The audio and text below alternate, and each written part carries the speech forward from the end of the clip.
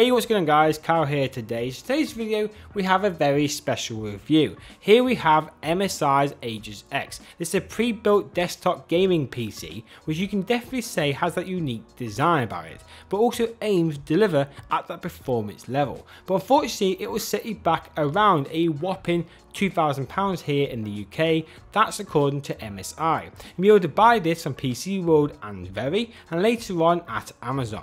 For the prices around the world, what MSI haven't actually told me.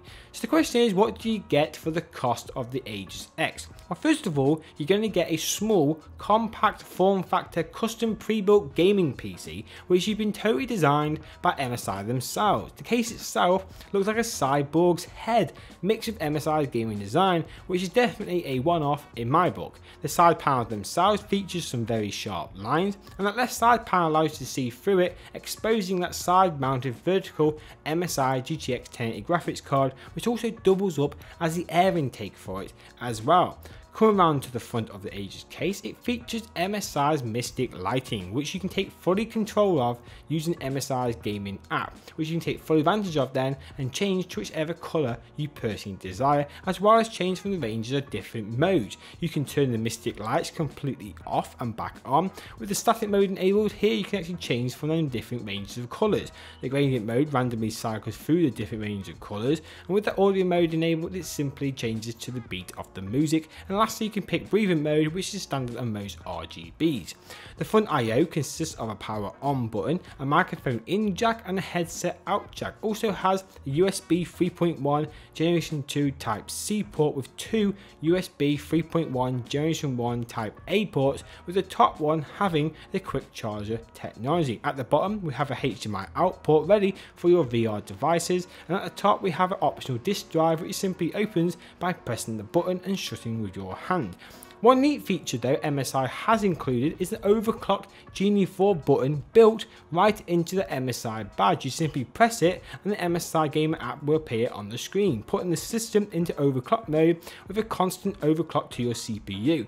Pressing the button again will put it back into the gaming mode, where then now you can change to the silent mode to reduce that performance if you want to, which in my books is a very cool feature to have.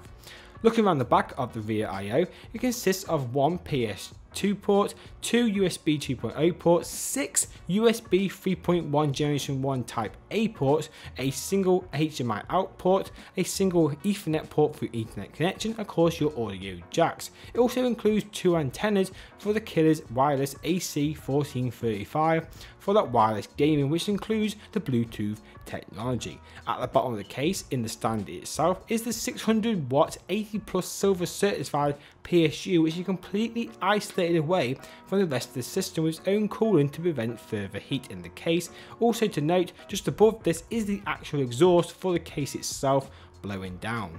Now moving on to specification of the Aegis X, MSI has certainly delivered here. The Aegis X uses an Intel Core i7 6700K CPU running at 4GHz on a custom Z170 motherboard with 16GB of DDR4 RAM with speeds of 2100MHz. It also features a Nvidia GTX 1080 graphics card which is of course a non-found edition by MSI, the Armor 1080, which has 8GB of GDDR5X memory.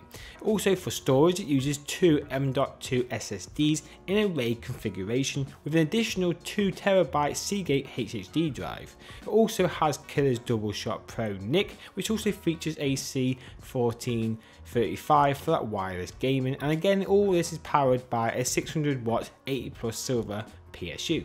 So one neat thing MSI has done with the Aegis X is make it so you can swap out and upgrade the components very easy if you wish to in the future.